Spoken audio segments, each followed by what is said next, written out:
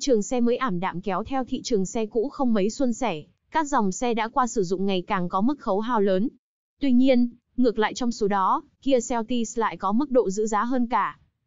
Mới đây, trên trang tin giao bán xe cũ, một chiếc Kia Celtis 2021 đã lăn bánh 4 vạn km được giao bán, với giá hơn 500 triệu. Chiếc xe thuộc phiên bản Deluxe, phiên bản thấp nhất của dòng xe có giá niêm yết ở thời điểm mua mới là 649 triệu. Như vậy, sau hơn 3 năm lăn bánh, mức khấu hao của chiếc xe vào khoảng hơn 100 triệu. Tuy nhiên, nếu so sánh với giá xe mới ở thời điểm hiện tại, phiên bản AT đang có giá niêm yết 599 triệu, thì chiếc Kia Celtis đã qua sử dụng này chỉ kém có vài chục triệu. Kia Celtis 2021 tiếp tục khẳng định vị thế với kích thước nổi bật, với trục cơ sở dài 2610mm, vượt trội so với các đối thủ cùng phân khúc.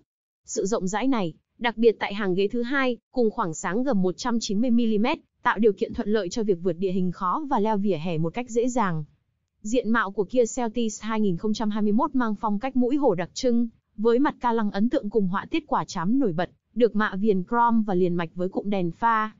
Phần dưới nổi bật với hai hốc đèn sương mù, được nối liền với lưới tản nhiệt và điểm nhấn là ốp mạ bạc tạo cảm giác hầm hố, mạnh mẽ.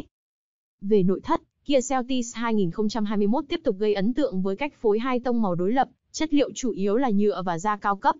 Thiết kế cửa gió điều hòa dọc theo táp lô, và các nút điều khiển được bố trí nghiêng về phía người lái, tối ưu hóa trải nghiệm sử dụng. Ghế lái của xe được trang bị vô lăng dạng đê cắt 3 chấu, mang đến cảm giác thể thao và tiện lợi với các nút bấm tích hợp. Các phiên bản Deluxe và Luxury sử dụng đèn halogen, trong khi phiên bản Premium được nâng cấp với màn hình cảm ứng 10 inch, hỗ trợ Apple CarPlay và các kết nối thông minh. Toàn bộ các phiên bản đều có mâm xe 17 inch 5 chấu kép chữ Y, gương chiếu hậu tích hợp đèn LED báo rẽ và có khả năng gập điện.